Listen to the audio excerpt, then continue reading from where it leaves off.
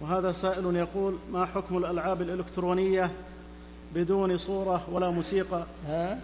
ما حكم الألعاب الإلكترونية بدون صورة ولا موسيقى؟ ما فيه لهو وإشغال للفكر فإنه لا يجوز.